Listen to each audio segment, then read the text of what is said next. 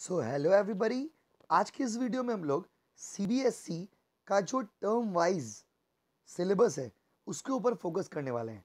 आज का टॉपिक है हम लोग का business studies CBSE term wise syllabus में बिज़नेस स्टडीज़ क्लास 11 एंड 12 का हम लोग डिस्कशन करने वाले हैं। क्लास 11 का क्या सिलेबस है और क्लास 12 का क्या सिलेबस है? इस बार के लिए, क्योंकि इस बार आप लोगों को पता है अलग अलग टर्म में आपके एग्ज़ाम्स होंगे।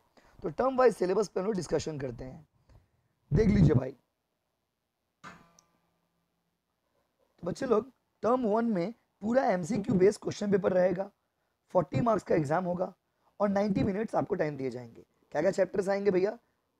Evolution and fundamentals of business forms of business organisation public private and global enterprise business services emerging mode of business social responsibilities of business ये आपका टर्म वन का है।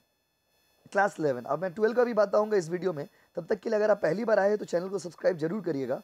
और क्लास इलेवन, टर्म टू का बात करते हैं। टर्म टू मतलब जब आपका होगा तो उसमें सब्जेक्टिव क्वेश्चन पेपर। मतलब आप देखिए, क्वेश्चन पेपर दो पार्ट में डिवाइडेड है। Term one, term two. Term one में पूरा एमसीक्यू होगा और टर्म टू में पूरा का पूरा आपका नॉन एमसीक्यू एग्ज़ाम होगा। सब्जेक्टिव पेपर का एग्ज़ाम होगा। और सब्जेक्टिव पेपर में क्या क्या देख लीजिए भाई? सब्जेक्टिव वाला में फाइनेंस एंड ट्रेड मतलब पार्ट वन वाला हो गया बी का। टर्म वन में या पार्ट टू वाला, टर्म टू में। Source of business finance small business enterprise development internal trade and international business ये था हम लोग का CBSE class eleven business studies का। अब आते हैं CBSE class twelve business studies में। क्लास ट्वेल्व का बिज़नेस स्टडीज़ में जो पहला टर्म होगा वो एमसीक्यू पेपर होगा, जिसमें आपका principle and significance of management nature and significance of management principle of management business environment planning और ऑर्गेनाइजिंग तक। ठीक है? और आपका मार्केटिंग मैनेजमेंट तक।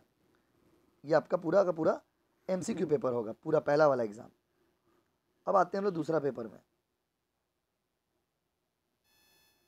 इसी का पार्ट टर्म टू का बात करते हैं। ठीक है, और डिटेल आपको देखना हो तो आप यहाँ से देख सकते हो, खुद से भी जा करके मैं आपको नटसेल में बता रहा हूँ।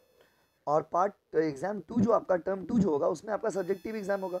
उसमें आपका स्टाफिंग डायरेक्टिंग कंट्रोलिंग और financial management financial market consumer protection मतलब सीबीएसई ने पूरे सिलेबस को दो पार्ट में डिवाइड दिया। तो 11 और 12 के बच्चों, आप लोग समझ गए होंगे कि 11 में आपका टर्म वन में क्या क्या आने वाला है और 12 में भी टर्म वन में क्या क्या आने वाला है। 11 में भी टर्म टू में क्या आएगा और 12 में टर्म टू में क्या आएगा।